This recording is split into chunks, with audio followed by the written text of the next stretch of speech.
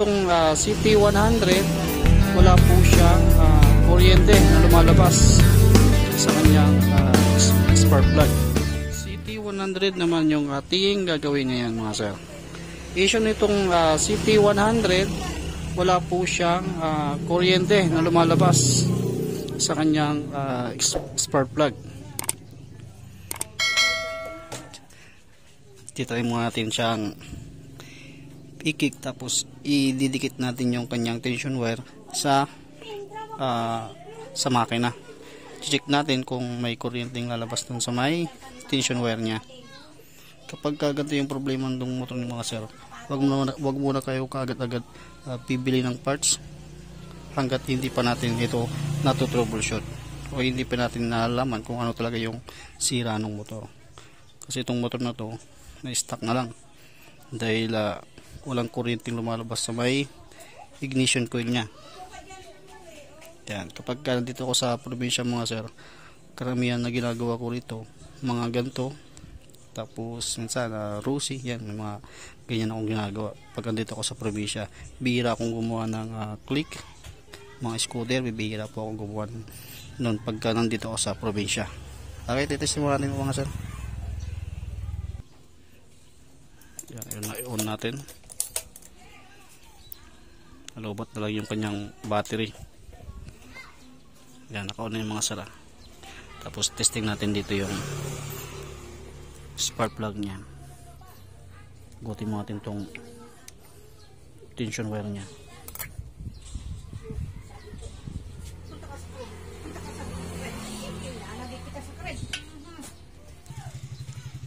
Ayan, natanggal na. Tapos ididikit natin dito mga sir kapag ka may kuryenteng uh, lalabas dyan makikita nyo naman yung spark ng uh, uh, tension wire nya na papunta sa sa ano natin spark plug. Tapos tatry ko siyang i-kick.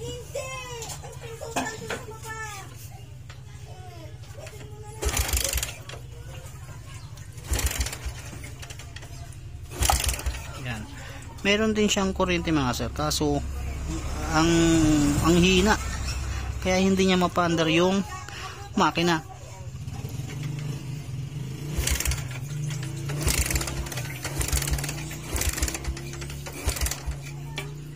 Yan.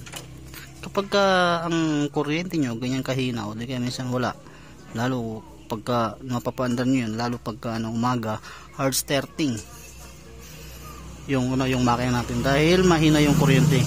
Unang-unang unang-unang yung i-check diyan pupunta muna kayo dito. Tatanggalin nyo muna yung tangke tapos yung upuan nya check natin yung sa may uh, stator. Tapos yung itong CT100 na ito mga sir kaparehas ng CDI nito yung pang XRM ito ang kaparehas nyan salpakan nya lang yan kapag yun ang ginamit nyo pinantesting po pwede rin yun. Basta huwag muna kayong bibili kagad ng parts. Mas maganda testing nyo muna para hindi uh, sayang yung parts na bibili nyo lalong lalo na kung uh, hindi naman pala kailangan palitan. Tatanggalin muna natin to. Oh yan. Natanggal ko na yung upuan saka yung kanyang uh, fuel tank. Yan, ito yung CDI nya kapares po ng uh, CDI nito. Yung kasi sa titingnan natin yung kanyang uh, CDI at ang, ang CDI nito mga sir parehas lang ng XRM 100 o 110 o kaya yung Wave 100 parehas lang sila ng CDI yan yung CDI nya 5 pin. Tapos dito sa CDI nya sa sakit merong uh, mga wire dyan na kulay uh, black na may guhit na yellow yan yung ating ground. Tapos yung itim na kulay uh, na may guhit na kulay puti yan yung ating kill switch. Tapos yung kulay pula. Ito yung kulay yung kulay pula na pure na pula. Yan naman yung sa ating primary. At ang uh, susunod natin itong kulay ng puti na may guhit na pula. Yan yung sa ating uh, palsar. Tapos yung isa naman na kulay itim na pure itim kulay black na walang halo. Yan naman yung papuntang ignition coil natin. Ayan. Ito mga sir, gagamit tayo ng ah, test light. O, kaya kung may tester kayo, mas maganda, i-tester nyo na lang dito. Yan, dyan natin makikita kung ano yung problema ng motor, kung wiring ba, CDI, o di kaya yung ah, primary coil. Yan, basta pagka ng mga sir, huwag muna kayong bibili kagad ng ah, parts. Baka yung parts na bibili nyo, hindi pala natin kailangan. Kaya mas maganda, troubleshoot nyo muna. Okay, umpisahan natin tong ah, i-troubleshoot.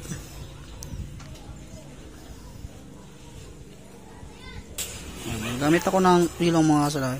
Ito. Kasi ah, dito ako sa La Union ngayon at ah, wala akong dalang mga tools na pang wiring. Kasi pagka nandito ako sa sa La Union, karamihan na ginagawa ko puro mga gantong unit.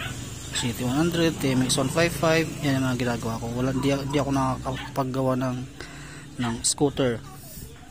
Puro ganito yung ginagawa ko. Yan, kaya hindi ako naka, nakapag-prepare para dito. Yan, kaya gumawa ko nito, ilaw. Yan yung ating gagamitin. Mas maganda sana kung may gumagana yung battery. Kaso, na-drain na yung battery niya. At ah, hindi na rin umiilaw yung neutral light niya kapag ka nagsususi tayo. Yan. Kaya gagawin natin ito mga sir. I isusuksok na lang natin to tapos magbabody ground tayo kasi mayroon naman sa sakit na to na may iba na may pan na may ground itong ano tong itim na may, may guhit na yellow dyan ko isusuksok yung ground yung isang wire ng ilaw nilagay ko muna dito sa positive wire ng ating baterya. Yan dyan ko muna siya nilagay. Tapos ngayon yung ah, isang wire naman na galing dito sa ilaw, ila- ilalagay, ilalagay ko dito sa may ground, wire ground natin ng ano ng socket sa CDI. Yan yung kulay itim na may guhit na yellow. Ngayon dahil i- hindi gumagana yung battery, papadyakan ko. Kapag kapinadyakan ko to, dapat ilaw yung ilaw. Kapag ka umilaw yan, ibig sabihin, good yung ah, wire na ground itong itim na may guhit na yellow pag umilaw yan ibig sabihin good yung wiring yan okay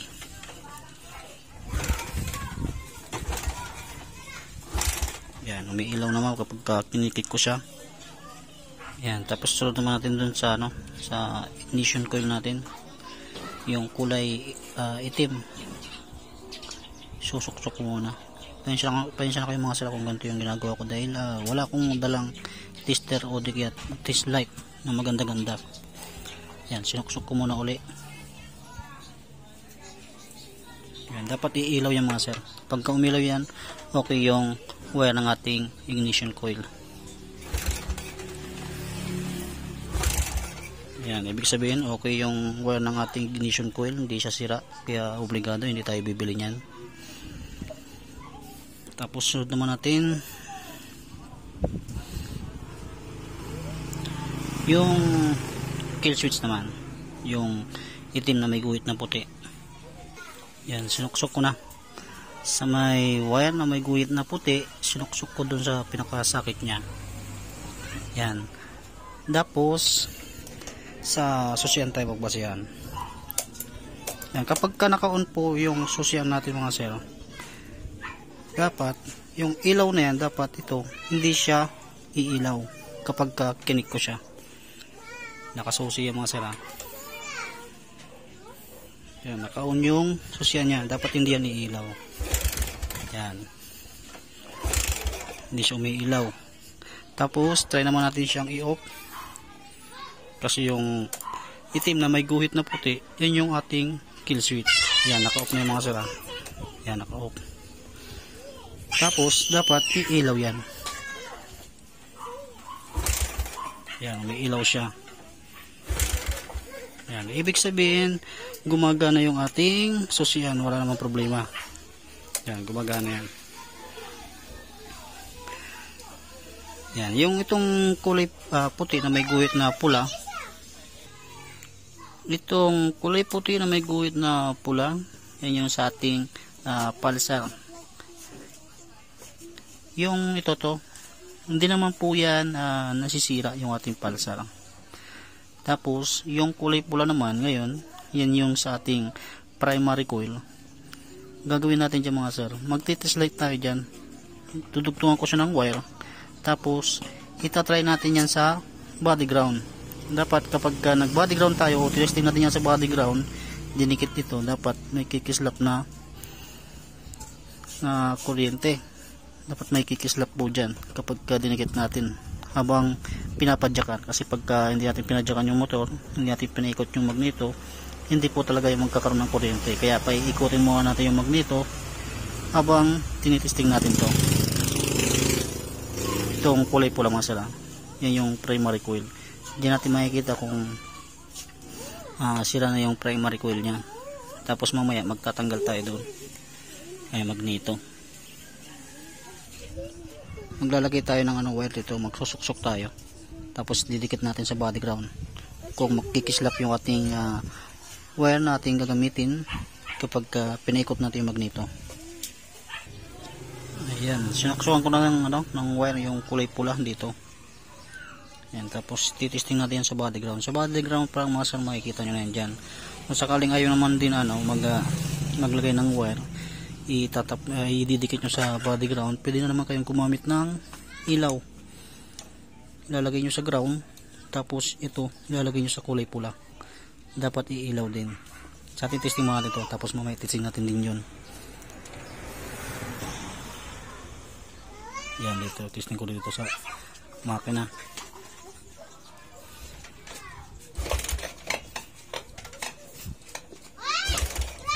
Yan walang ano walang kumikislap Ayan, pahinsa na, pahinsa na kayo mga sir. Dahil bali, ano, hindi ko siya maipakita sa inyo maayos dahil uh, mag-isa lang kasi akong uh, nagka-camera. Kaya medyo nahihirapan ako. Ayan, testing naman natin yung ilaw.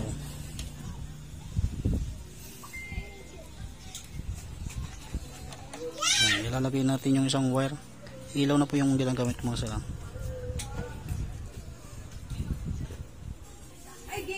Ayan. Sinuksok ko muna dito mga sir, yung ilaw. Tinap ko dyan sa may pula, dito sa may pinaka sakit. Ayan, tapos itong isang wire, ilagay ko dito sa may ground. Yung kulay itim na may guhit na yellow, yan yung ating ground. Ayan, dapat iilaw din to.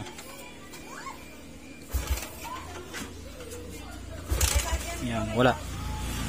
Ngayon magbabakas tayo ng uh, magneto mga sir. Ito. Ayan mga sir natanggal na yung cover niya. Tapos ngayon titesting pa ako ng isa. Yan tinap ko muna uli dito sa pulsar na uh, primary coil natin yung kulay pula. Yan dugtungan ko ng wire. Tapos didikit natin dito. Dapat magkikislap. Layo-layo natin ng konti yan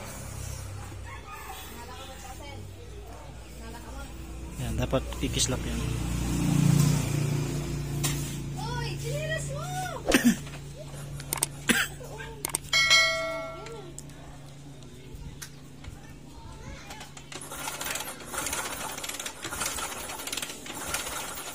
Yan, walang kuryenteng ano, lumalabas o hindi mo lang kumikislap. Ayan, tatanggalin natin tong ano, tong magneto. Yan, tatanggalin natin yung magneto mga sir. Yan, sukat dito mga sir, ano, 14.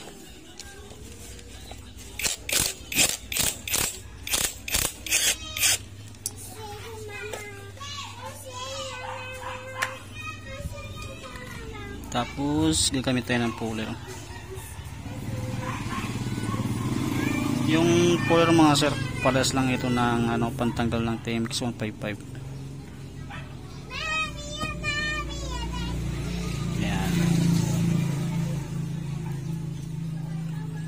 Pero dapat mga ah, yung puller nyo dapat yung itong ginagamit yung puller dapat flat siya dito. Okay lang na may tusok sa gitna dapat flat pa rin dito. Hindi yung yung patulis. Kapag kapatulis masisira yung sigunyal nyo doon.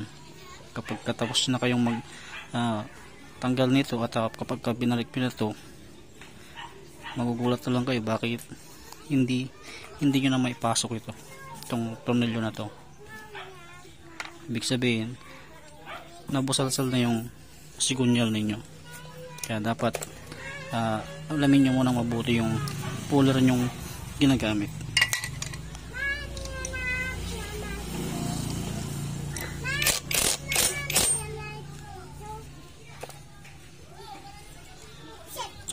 Yan, yan yung kanyang stator yan, bakit natin tinanggal yung magneto dahil magpapalit tayo ng primary coil. Ito to ito yung papalitan natin. Ito yung primary coil nya ay tatanggalin mo natin ito tatanggalin mo natin ito mga sir. Ayan natanggal ko na. Yan mapapansin nyo nasunog na sunog na yung kanyang primary coil kaya kahit na anong gawin nating uh, pagpaandar sa motor hindi umaandar o ayaw umandar dahil dito mga sir sunog na sunog na. Uy siya! Ay yung kabal ko. Kinukulit ako. Habang gumagawa ng motor. Yan mga sir ito yung ilalagay nating uh, primary coil yan, CT100 din nakalagay. Yan, presyo nito mga sila, yun, 135. Yan, yan yung ipapalit natin dito. Yan, ito yung ating ipapalit.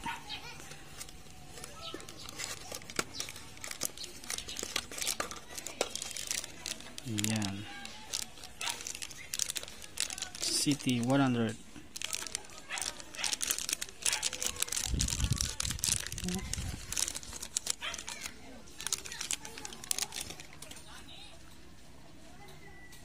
Quezon City 100 din ito.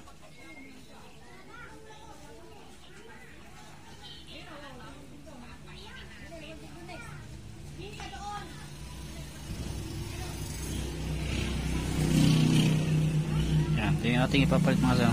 Lalagay ko muna ito mga sir ah.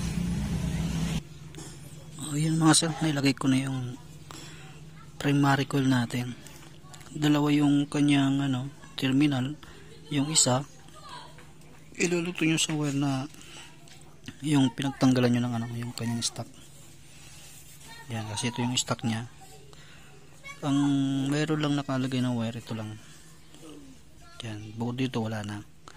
Eh ngayon sa bago nating ano na primary coil dalawa, dalawa yung kanyang uh, lagayan ng wire. Yung isa nilagay ko sa isa. Yung isa nilagay ko sa ground yan ganoon lang po gawin yung mga sir. Yan kung papasin nyo yan nilagyan ko siya ng ano silan para hindi na siya gumagalaw. Pero mas maganda pa rin kung isusuldan nyo yung ano yung wire. May sa akin kasi hindi ko sinulda dahil nga hindi nga ako naka prepare pagdating sa uh, mga ganito ngayon kasi nasa probinsya ako ngayon. Ngayon ibabalik na natin yung magneto at uh, titistingan natin kung may kuryente nang lalabas sa ating ignition coil oh, yan mga sir naibalik ko na rin yung kanyang cover. Saka yung kanyang kambyada ngayon titisting naman natin dun sa may uh, tension wire natin kung may kuryente nang lalabas. Ayan dito naman tayo. Titisting naman natin tong ignition coil nya kung may kuryente. Yan tapos ikikik ko mga sir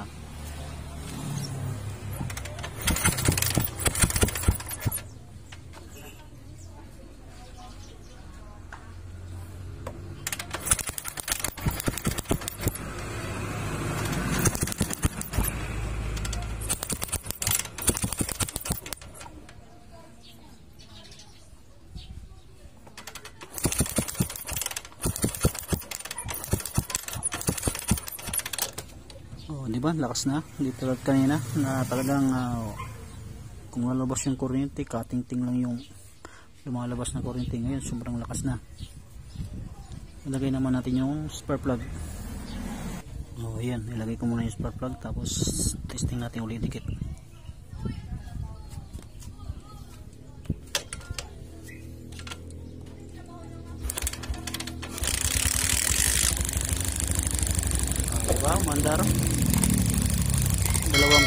manda na agad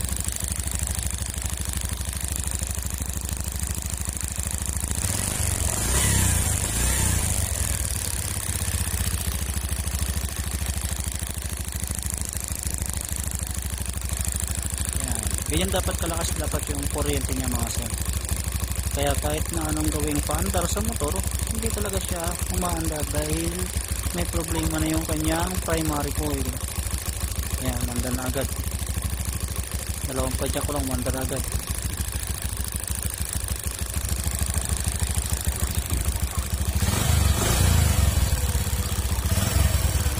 Hmm.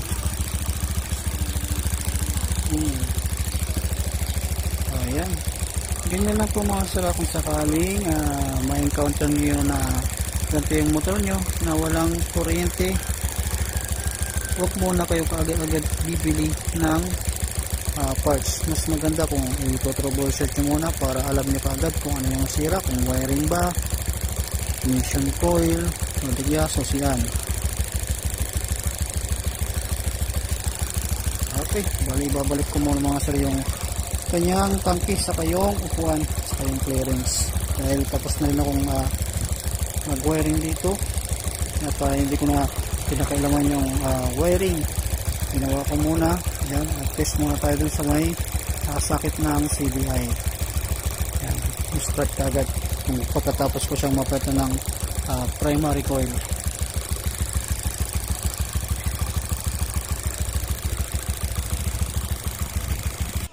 Oh, yan mga sir, naibalik ko na yung tank saka yung upuan, lahat ng cover binalik ko na. Yan, tapos binalik ko na rin yung spark plug cap niya. Testing natin ulit siya.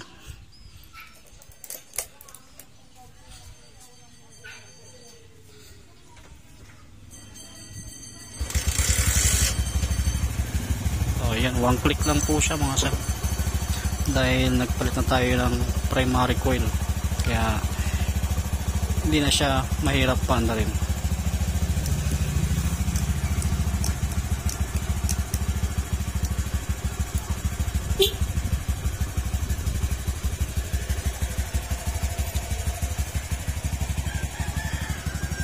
Ayan.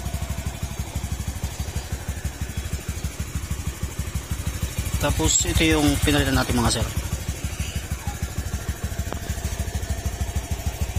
Yan, ito yung pinalitan natin. Yan, sunog na. Tapos, ang ipinalit natin, yung ganito mga sir. 135 lang.